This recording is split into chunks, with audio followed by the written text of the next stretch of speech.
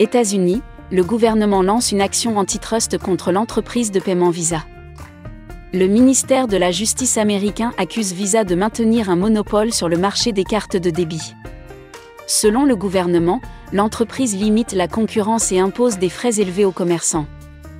Le ministère de la Justice des États-Unis a déposé une plainte antitrust contre Visa, accusant l'entreprise de maintenir un monopole sur le marché des cartes de débit en limitant la concurrence et en imposant des frais excessifs aux commerçants.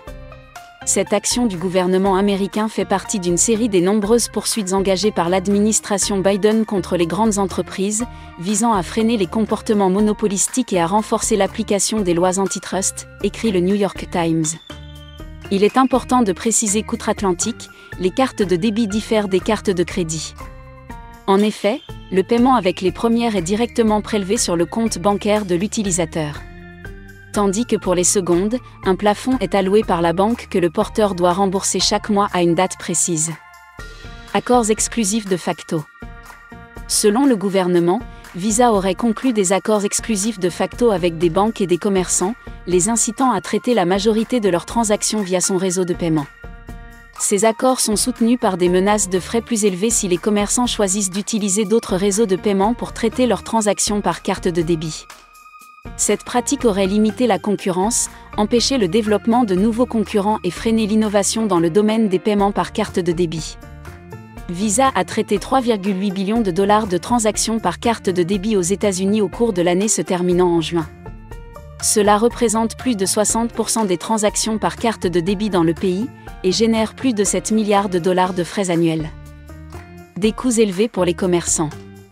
Ces frais, bien qu'invisibles pour les consommateurs, sont payés par les commerçants, qui peuvent ensuite les répercuter sur les prix des biens et services.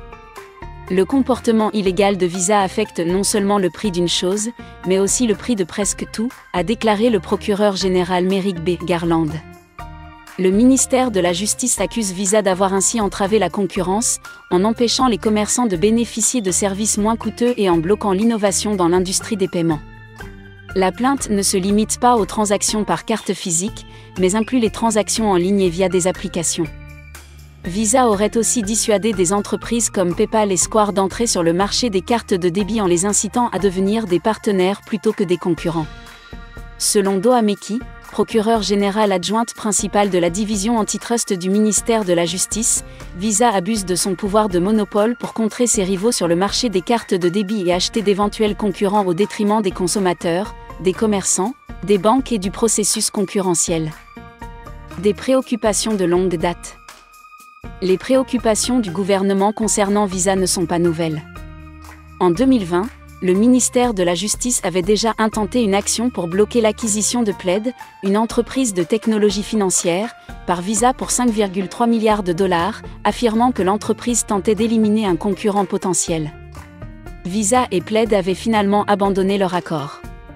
Mastercard, autre grand acteur de l'industrie des paiements, a également fait l'objet d'enquêtes similaires concernant des pratiques visant à supprimer la concurrence dans le secteur des paiements par carte de débit les analystes estiment que la procédure contre Visa pourrait s'étaler sur une longue période et aboutir à des mesures d'atténuation.